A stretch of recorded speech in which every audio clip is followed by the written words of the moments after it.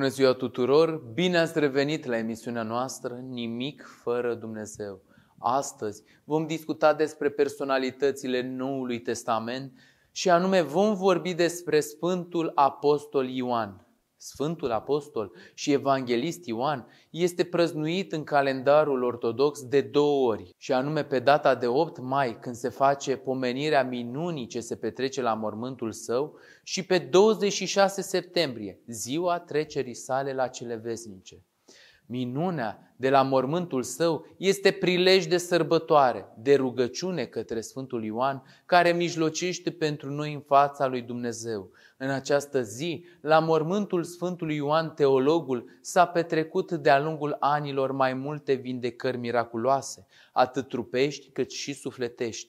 Sfântul Apostol și Evanghelist Ioan este primul între sfinții creștini care au primit supranumele de teologul apostolul al iubirii dumnezeiești, a scris sub inspirația Duhului Sfânt Evanghelia care îi poartă numele, care mișcă inimile tuturor spre dragostea de Dumnezeu. Sfântul Apostol și Evanghelist Ioan a fost ucenic al Sfântului Ioan Botezătorul, însă l-a urmat mai târziu pe Hristos împreună cu toată familia lui. Sfântul Apostol și Evanghelist Ioan era din Betsaida Galilei.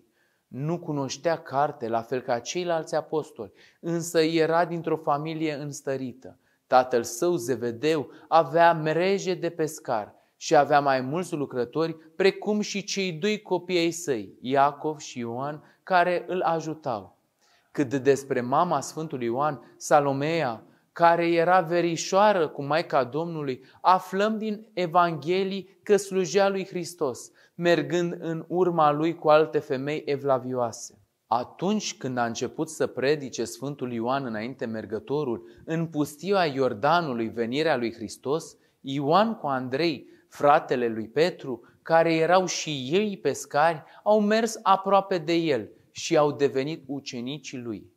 Sfânta Scriptură nu reprezintă numai o simplă istorisire a unor evenimente din viața și cultura poporului ales, ci și o sursă de înțelepciune spirituală, o cale de zidire duhovnicească, o prezentare obiectivă a începutului mântuirii neamului omenesc.